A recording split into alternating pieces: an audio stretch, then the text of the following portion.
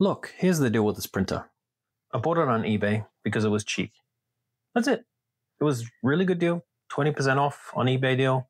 Got it for 460 bucks from 599. The slicer actually caught me off guard because it's basically Orca slicer in disguise. Super easy. Uh, profile was already preloaded. I didn't have to touch a thing. That's pretty rare in this hobby. So yeah, good, good to know. So once you're logged into your account up here, printer shows up. Print plate. Choose your color. Leveling, probably won't level. Send print. And then, yeah, then it starts. I've had one issue multiple times, which is my filament. So my filament's a bit, little bit older, and what happens is it's been snapping. So it snaps actually right up here somewhere in the tube, and you can't clear it.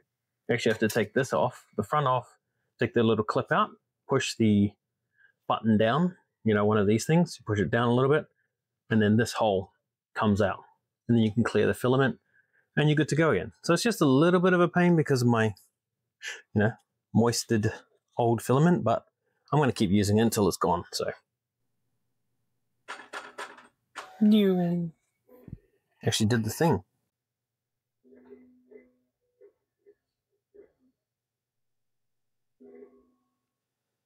And if we go in here, you can actually set the speed. So it's already at 100%.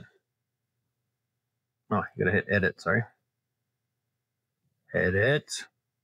Then you can change the speed, the fan speed, which we're not gonna change now, and the Z height. Um, only when printing this stuff comes up, you can't change anything else, but, and it actually tells you the speed that it's running right now, which is on or 80 millimeters per second.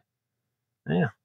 And from the slicer, all you can see is it's printing. You can pause the print, cancel the print. You can adjust the exact same things that you could on the printer itself. And there's a light on or off switch, which we don't actually have a light or anything. And there's no camera. So, yeah. Other than that, the printer's been quite a nice addition to my printer farm. Okay, once see this one and my uh, AnkerMake when I get that back on the desk. So, yeah. If you've got one of these, or you know, if you've got any questions or share your stories, let me know. If I pause the print and change colors on here, does it keep going?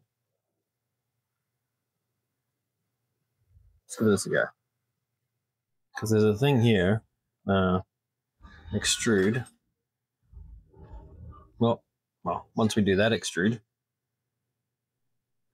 right, let's cancel that one. Go this one, extrude. So it's going to the next color to extrude it. And then hit resume. Does it change back to black? Or does it use this? That's what I'm keen to try. So I pause the print. Print is halfway done. Well, almost done, like 19 minutes or something. I don't care about this. This is just a test print because, you know, that's my model for a keyboard. Keyboard holder. I just want to see if I change colors through here halfway through the print, does it mess that up? Because I paused it.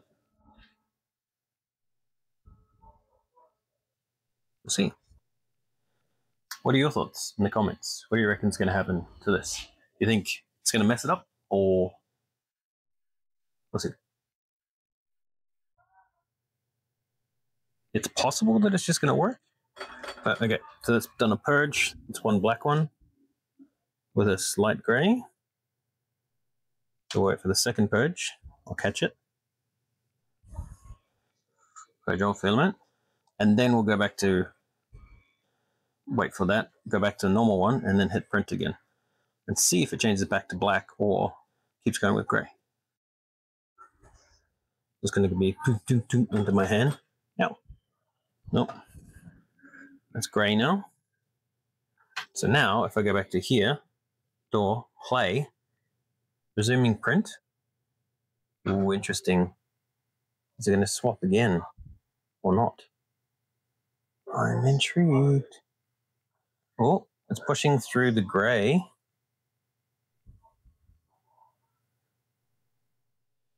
Could just stay with grey.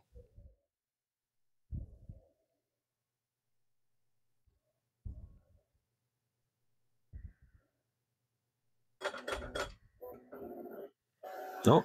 Does it wipe? No. Okay. That's smart enough to know it's on the wrong color. Well, that's interesting. That's really interesting to see. It was just a random test I wanted to do. Um,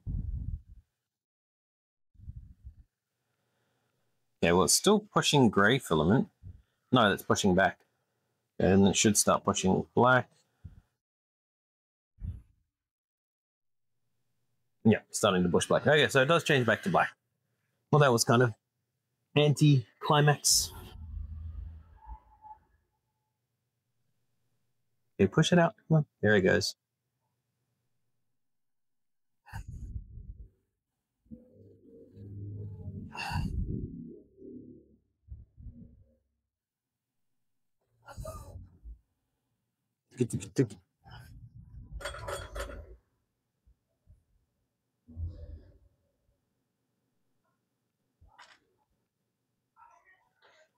Spinning it out again. So yeah, it's going to go back to black.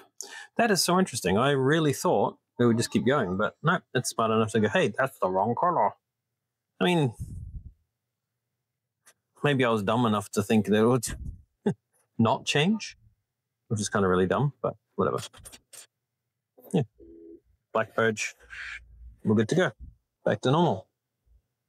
Honestly, I always expect printer, brand new printer, obviously off a lot, to fail in some sort of way or some big hurdle to be chucked at me. But surprisingly, this one hasn't had anything like that, which is just really good. Apart from obviously the tube just getting blocked with my old filament. That's my fault. Using crappy old filament, not drying it, not you know, containing whatever. It's pretty insane. Well, yeah, that's done. So what you do, grab it off here, you let it cool down a bit.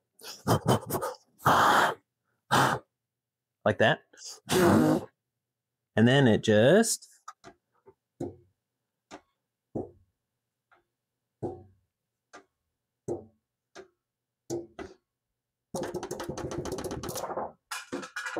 pulls off the plate. So yeah, just let it cool down, folks. Don't stress. Let it cool down. You good. Put on fuzzy. Yeah. Might need to do a relevel actually. I just noticed the lines on the back. Very subtle. But that just means I need to do a relevel. That's enough printed talk. Time to break something else, like one of these computers.